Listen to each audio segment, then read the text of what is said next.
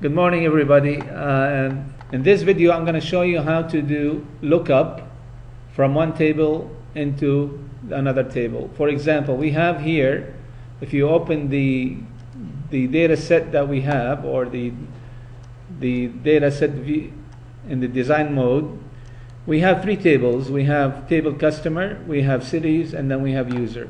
But in this field, in this table, we have city and then city ID. I put this on purpose. We have, I can look up city from this table because I have a list of cities in this table. Also, I can use city ID to look up city because this is a prime a foreign key. So, and this is what usually, this is the, this is what we usually do. We use the city ID to tie these two tables together for a foreign key.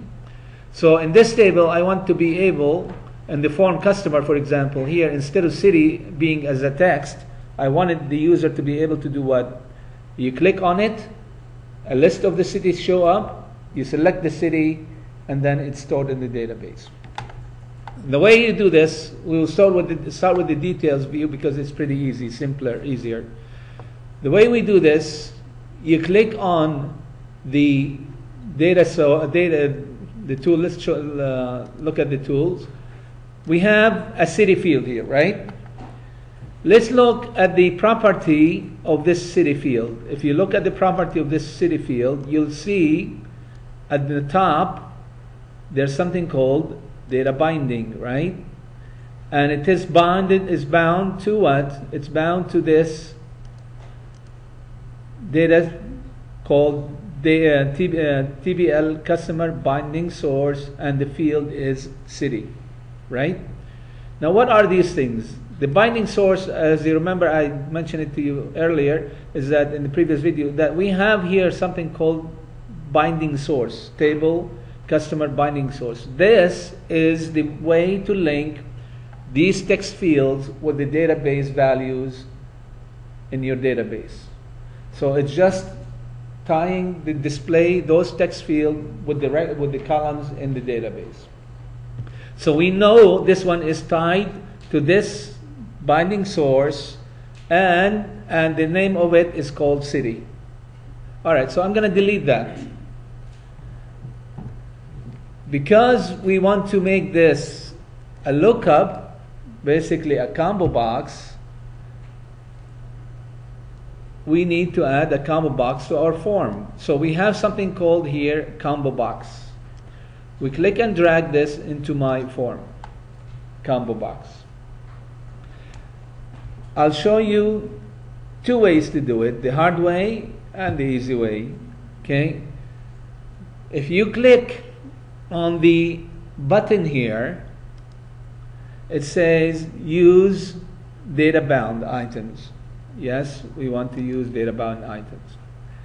Now, because it's a combo box, it has multiple value. It'll ask you, where do you want to get the values from? If we click on this, I have the table customer binding source and I have other sources. Now, the table customer binding source is for the customer table. So if we want to get the information from the city table, then I have to get a binding source for the city. I'll show you the hard way first. Then we have to go in here, other data sources, click on project, and then I have customer data set, right? You click on that, and then you have the table cities, right? You're okay with me? Then you click on cities. So now I said this combo box is tied to the city table. All right?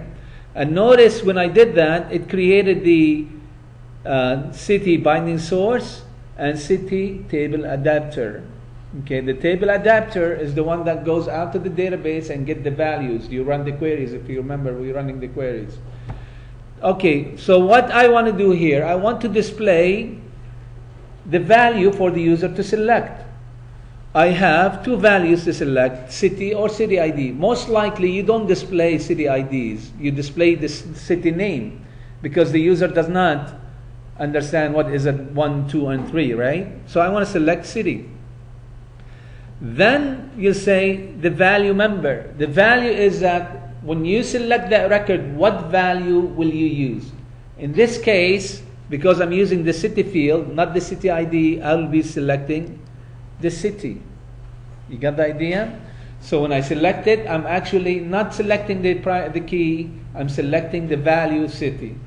All right, what else can I do? So that's for displaying the data in the, in, in the combo box. The next part is where do you get the data? Once you select the data, where do you want to save it to? Which table do you want to save it to? Remember when I started showing you that text box that we deleted? It was tied to what? If you remember, it was tied to the table customer binding source. Remember that? And in here, I have the city field. So I'm putting it back the way it was before. You got the idea? So now I get the value from the city table, which is the binding source and the table adapter. And then the value I select, I will store it into the customer table. Which, which, col- which column? City. Now let's go ahead and run it and see what happens. If I click on cities, I'm sorry, customers, you'll see now what? I have a list. Yeah? I have a list of cities. And I can select one of these and click on save, and that will be saved in the database. Okay? But we have a problem here because when we, if we go to the next record, it, no, it's okay. Okay? You get the idea? Is that clear?